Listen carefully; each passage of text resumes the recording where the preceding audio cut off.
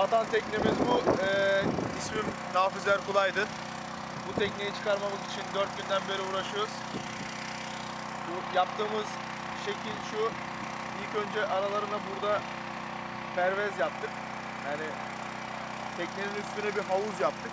Havuzun üstüne su girmemesi için. Havuzun amacı teknenin üstünü yani teknenin sudan olan mesafe, altında olan mesafesini yukarı kaldırıp yani doğal bir tekne yapmış olduk. İkinci bir tekne yapmış olduk. Bu havuzu yaptığımızda da içine de suyu bastığımızda pompaları içine attık.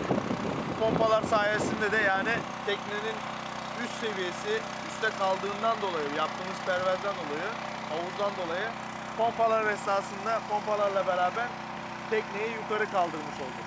Burada iki tane de balon attık. Yardımcı balonlar var. iki tane sağlı solda iskele sancaklı.